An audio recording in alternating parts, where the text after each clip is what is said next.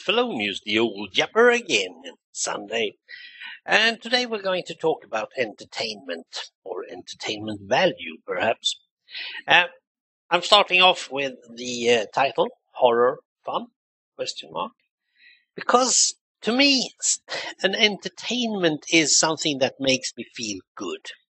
And there is not much in horror movies or horror horror games or or splatter movies or something like that that is really fun. But on the other hand, there must be something that people enjoy when they're trying to be scared because that's what it is. They want to be scared and that is an emotion they like. And perhaps I could use that. Perhaps I should have that some, some more. But to me, it's always been like, look, I don't like it. I don't want to be scared. I don't have the stress threshold high enough to, to cope with it. And uh, perhaps I did have some uh, nightmares when I was younger.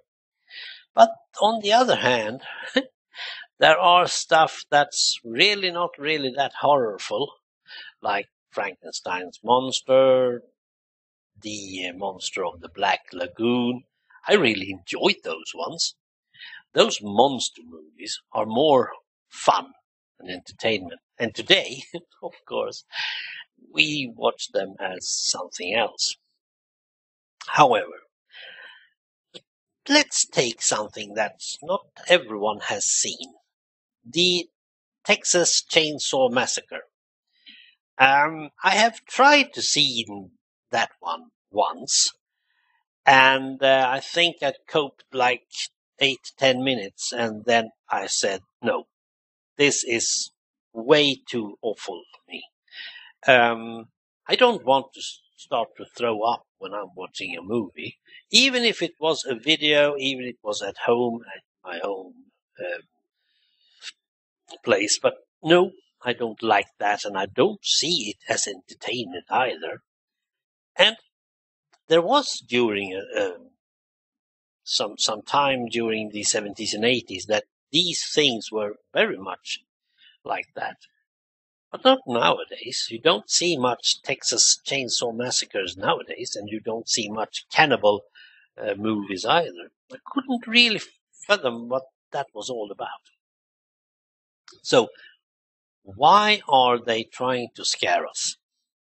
Um, I haven't seen many movies and I haven't watched many games being played, and I don't play them myself.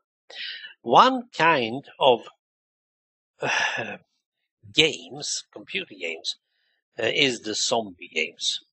Besides Minecraft, I don't really regard that as a zombie game, but besides that, I haven't played any of the Walking Dead or Rise something, and um, as you can see, I'm not really sure about them. Uh, but why are people so? They really love them, don't they?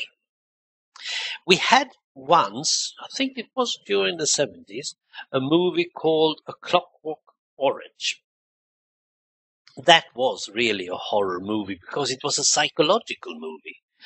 Um, do we really, are we really able to bend the mind of a um, young person who is a bit criminal or just violent? Can we really do that? Now that's horror, but is it entertainment? Hmm. Well, anything that makes my little brain cell work is entertainment for me, even if it's just laughing or thinking. But I really did like that. So, is horror movies fun? No. Is psychological thrillers fun? Well, there are entertainment, absolutely. Um, but mostly I look at action movies because that's totally brain dead, and comedies, and science fiction, of course. Um, then we have some movies that have violence in them. Now, violence and horror are not the same thing, depending on how it's depicted, of course. The more splatter you have, the more horror you get. The less splatter you get, the more violence you can get away with.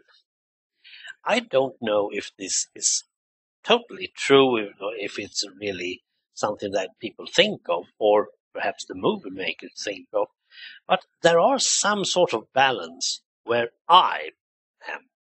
Where do I put myself on this one?